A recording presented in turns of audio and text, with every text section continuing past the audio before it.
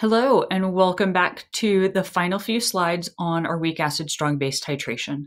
I wanted to follow up with showing you table 14.4.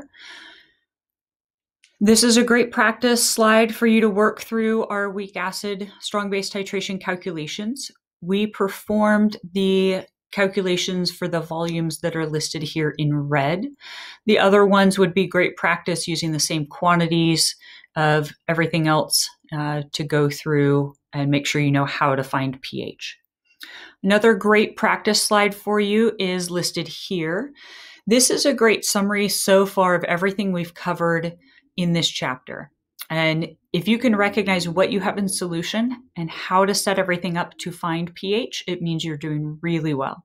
So I strongly recommend practicing this one. Let me know if you have any questions on the setups here. I do have the very brief explanation of what's in solution with the pH answer, but I do encourage you to practice this without that information there to see if you can determine the setup.